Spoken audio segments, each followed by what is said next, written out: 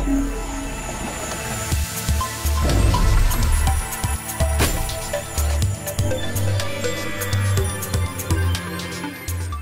what's up guys and welcome back to a short review of the month of use of the fake MacBook Air. In this video I want to show you how it performs and if it's actually worth the money. By the way, I couldn't install Hackintosh on it because it's not compatible with the integrated graphics. Okay, so now let's get started with the review. Okay, so here it is. Here's the fake MacBook with the plastic unibody. And now let's turn it on by pressing the power button here. And then we press F2 because first, before we start it, I want to show you the BIOS and what you can edit in the BIOS. Okay guys, we're now in the main screen of the BIOS and as you can see it's running a 2011 version of the American Megatrends BIOS. And here on the main screen you can set the system language, also time and date if you want to. Then let's go to the boot screen here you can enable or disable the SATA controller and you can also switch SATA mode. You can switch between IDE and AHCI mode, but be aware of that. If you change that, you also have to change that in your operating system, otherwise it will not boot. Then we got several other boot options and here under hard drive options, you can see that one Western Digital 500GB hard drive is included. Okay, then let's go to the security tab. You can set an administrator or user password. But yeah, I don't need that. But if you need that, you can do it here in the BIOS. But except of that, there is nothing much to adjust. So basically that's everything. Here on the last screen, we have save and exit. You can save your changes here and you can also restore the defaults if you fuck it up. And yeah, basically that's it. It is also capable of launching EFI shells from a file system device like a USB drive. Okay, then now let's go out of the BIOS and let's boot this device here. Okay, that's it, we are out of the BIOS and now it's booting and as you can see I have dual boot set up on this device here so I can choose between Windows 7 and Linux. I'm running Backtrack on this device and basically that's my main usage. I'm using it to carry it around, test Wi-Fi on different places and also to code some little scripts on it.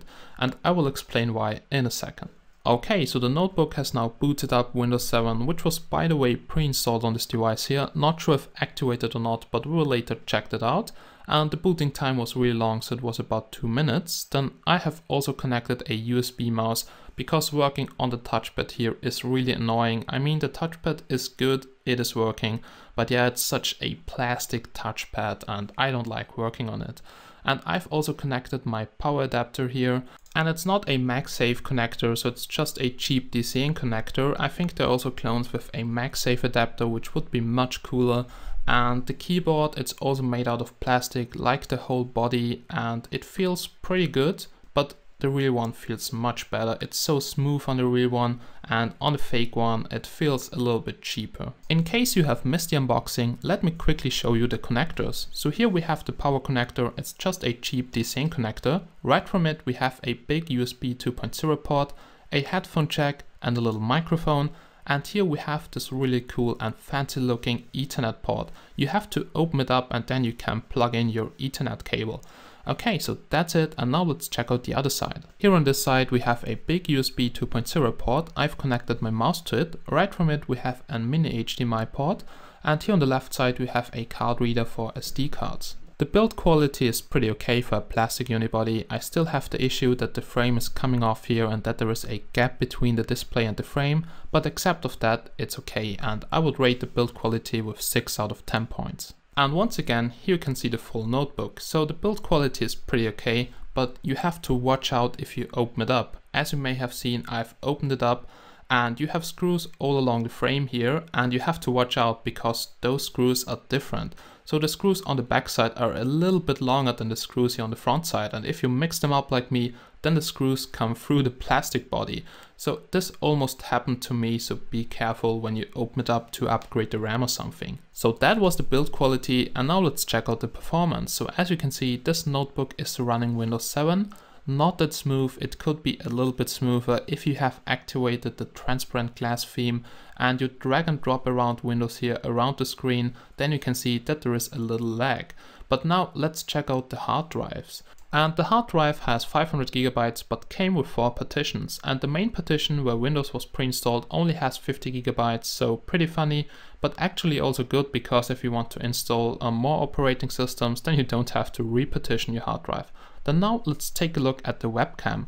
And the webcam is nothing special, so it's just a VGA webcam with a resolution of 640 x 480 pixels, but it's capable of taking pictures, recording videos, using it in Skype or any other application. And you can see it here on the top of the frame right over the display.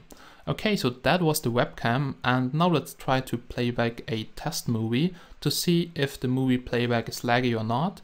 Okay, so I'm starting it for the first time, so just give me a second. And we can also test the speakers this way. Okay, so let's make it a little bit bigger. And there we go.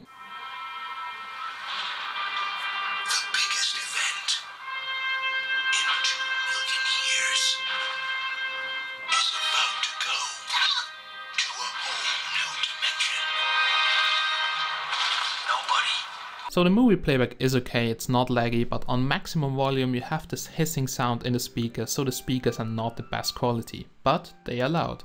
Then now let's try the same on YouTube. So I've now connected my ethernet cable, but I'm also connected to Wi-Fi. And now here in Firefox, let's try to playback a movie here on YouTube. Oh, those fucking ads. No, I'm just kidding. Ads are important, so don't use an ad blocker, guys.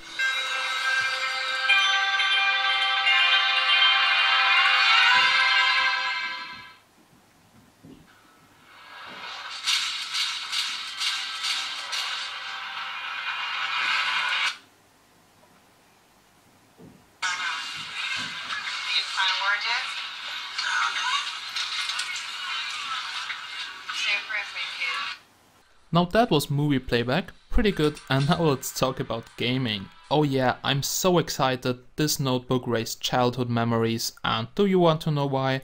Because my Intel Pentium 3 with a GeForce 2 MX was running the games equally or better. I couldn't even play Minecraft on the lowest settings with Optifine, I just got about 1 FPS same for Trackmania, oh wait, it didn't even start, so I had to dig out Counter-Strike 1.6 because otherwise I just could play Minesweeper.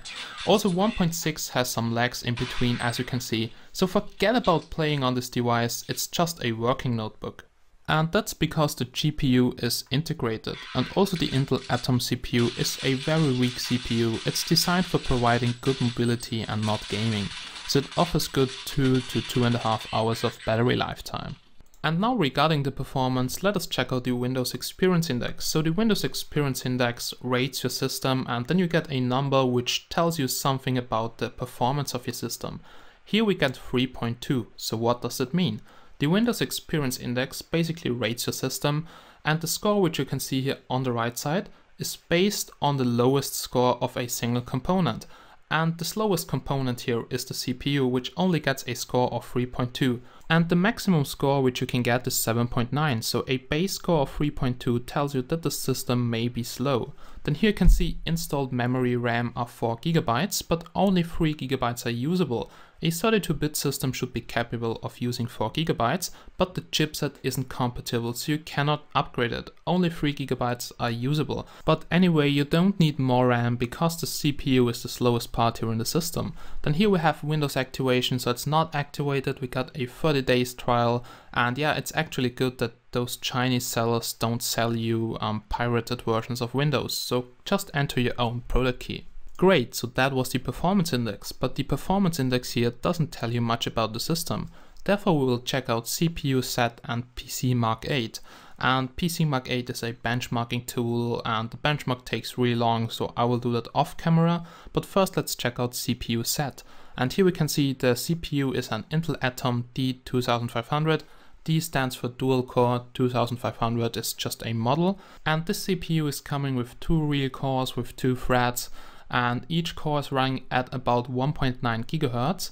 It's designed to have a low power consumption, so the TDP is only about 10 watts. On the newer Intel Atom models, it's less, it's 2 or 5 watts. And also the mainboard and the chipset is made by Intel, so it's the Tiger Hill or Tiger Point NM10 chipset. Then now let us check out memory. So here we can see that 4GB of DDR3 RAM are installed and the DRAM frequency is only 532 MHz. So this results in a frontside bus to DRAM ratio of, of about 1 to 4. Then here we can see the memory slots and CPU-Z tells us that there are two memory slots, but I have opened it up and I've just seen one memory slot. So we have one memory slot with 4GB of DDR3 RAM and that's it. But not all the 4GB are usable so you can just use about 3GB and also not with the maximum bandwidth which would be 800 MHz.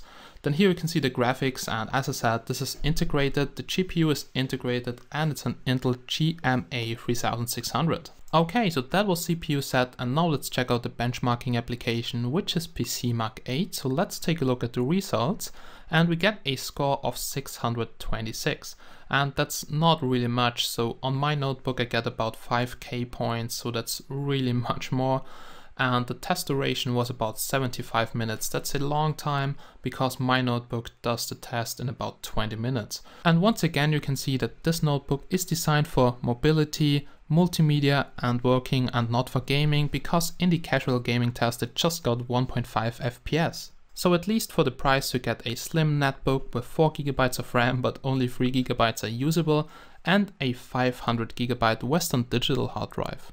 Now that's it. We are at the end of this video and I hope you still enjoyed it and if you really want to get such a netbook, be sure to get the model with the Intel i3 CPU and maybe aluminum unibody. I would rate this one with 5 out of 10 points, maybe give it an extra half point for the cheap price, but the real one is definitely unbeatable, so guys watch out when you buy a notebook in China. Okay, then as always, thanks for watching and I hope to see you again in my next videos. Bye bye guys!